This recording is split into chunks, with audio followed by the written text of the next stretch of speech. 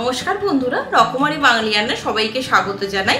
আজকে আমি আপনাদের সাথে শেয়ার করছি আপ্পামের রেসিপি এটা তৈরি করে নেওয়া খুবই সহজ। আপনি এটা চটজলদি তৈরি করে বাচ্চাদের ব্রেকফাস্টও দিতে পারেন বা স্কুলে টিফিনেও দিতে পারেন।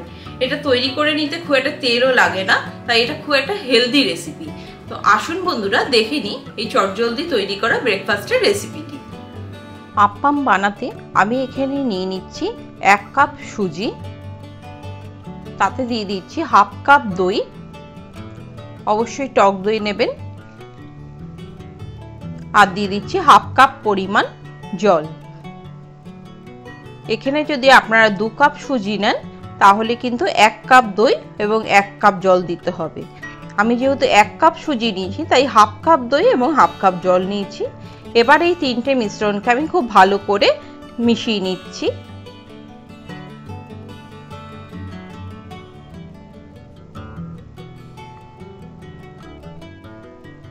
খুব ভালো করে মিশিয়ে নিতে হবে, যাতে কোনো লাম্প না থেকে যায়। মেশানোটা হয়ে গেছে। এই অবস্থা আমি এটা কুড়ি থেকে পঁচিশ মিনিটের জন্য ঢাকা দিয়ে রেখে দেবো। কুড়ি মিনিট পর আমি ঢাকাটা খুলে নিয়েছি। এবার আমি অনেকগুলো সবজি ছোট ছোট করে পিস করে কেটে নিয়েছি। এখানে নিয়েছি গাজর বিনস, ক্যাপসিকাম, আদা কুচি এবং লঙ্কা কুচি। এগুলো আমি সব একসাথে দিয়ে দিচ্ছি এর মধ্যে।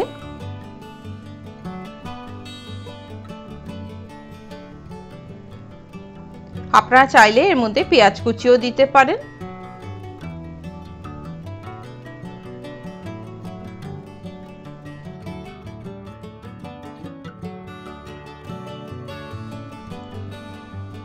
এবার এই সমস্ত উপকরণগুলো আবার মিশিয়ে নিতে হবে।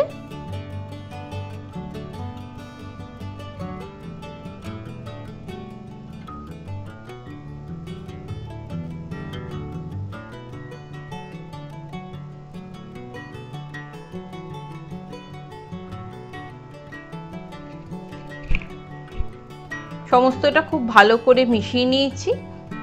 এবার আমি একটা হাতার মধ্যে তেল গরম করে নিচ্ছি, তাতে দিয়ে দিচ্ছি একটা শুকনো লঙ্কা আর দিচ্ছি কালো সর্ষে। আর দিলাম কটা কারি পাতা। এই সম্বারটা আমি দিয়ে দিচ্ছি আপ্পামের মিক্সচারটার মধ্যে দিয়ে ভালো করে ভালো মিশিয়ে নিচ্ছি। মেশানোটা খুব ভালো করে হয়ে গেলে এর মধ্যে আমি দিয়ে দিচ্ছি হাফ চামচ পরিমাণ নুন। এবং এক চামচ পরিমাণ বেকিং সোডা। বেকিং সোডা না হলে আপনারা ইনোও দিতে পারেন। আর দিয়ে দিলাম দু থেকে তিন চামচের মতো জল।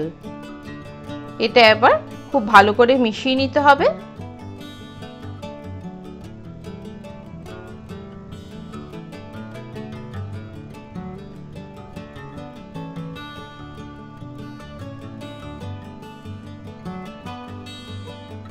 আপনার ব্যাটারটা আমার পুরো রেডি।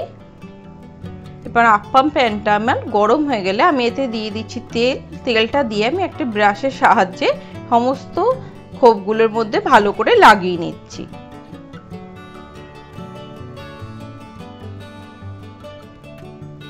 এই সামান্যই তেল লাগে, এক চামচ দিয়েই অনেকগুলো আপ্পাম তৈরি করে নেওয়া যায়।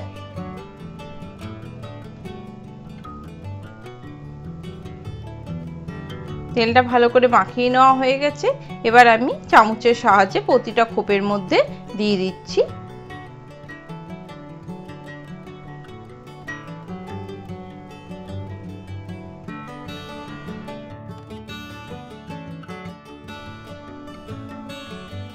আমি এবার এটা ঢাকা দিয়ে দিলাম পাঁচ মিনিটের জন্য।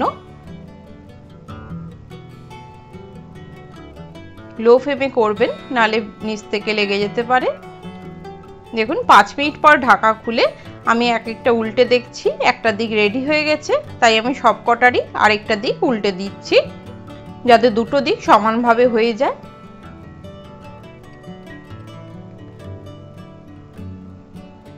এটা আমি আবার দু মিনিটের জন্য ঢাকা দিয়ে দিচ্ছি, দু থেকে তিন মিনিটের মধ্যে এটা রেডি হয়ে যাবে। দেখুন, দু মিনিট পর ঢাকাটা খুলে নিলাম।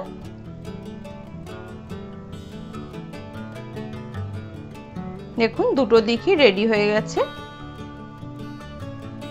গরম গরম আপ্পাম একদম রেডি আমি এটা একটা সার্ভিং বলে তুলে নিচ্ছি।